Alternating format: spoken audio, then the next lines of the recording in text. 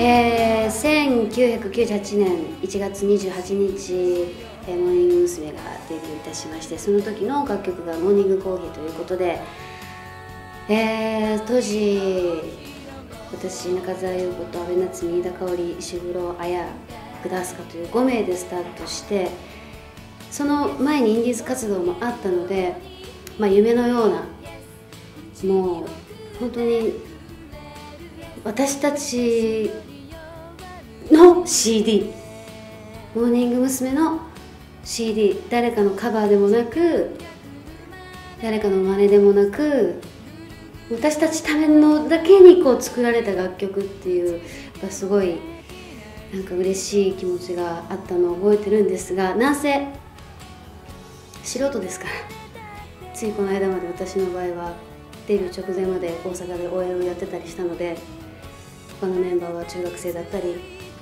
高校生だったり短大生だったり本当にそれぞれの生活をして突然始まった芸能生活の中のデビュー曲だったのでもう右も左も分かんないですから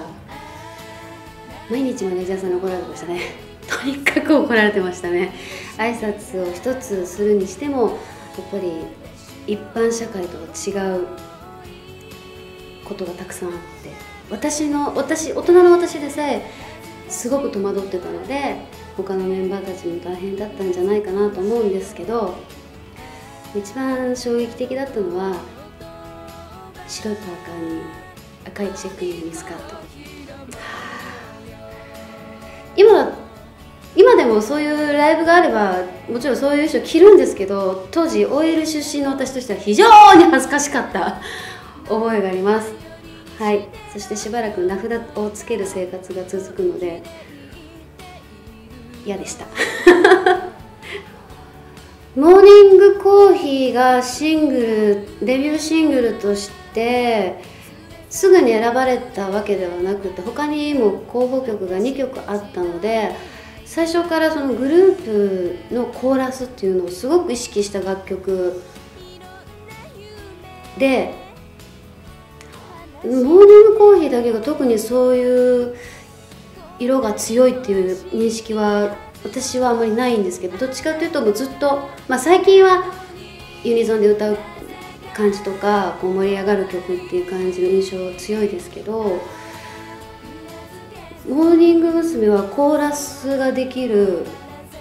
グループだっていう意識をしてるので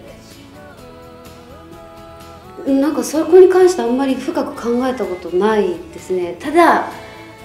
いまだに難しいです。確かに。音を一つ取るにしてもあのメインのところとハモリのところのこうクロスするところとかすごく複雑なので苦労してます。なので実際に歌ってた3人以外のメンバーはちゃんと歌えてんのかなとかって思ったりもしますけど、そうですね。先のことなんて明日のことすらも分からなかったしその時にやってるお仕事の次のお仕事のことすら把握できないまま活動してたので後にその後輩メンバーたちがモーニングコーヒーを引き継いで歌ってくれるようになるとは、まあ、モーニングコーヒーだけじゃないですけど代々こう受け継がれていく楽曲になっていくとは思ってはなかったしびっくりしました。あれ？セルフカバーしちゃうんだ。みたいな。でも私はやっぱりオリジナルの5人で歌った「モーニコヒー」が一番好きです。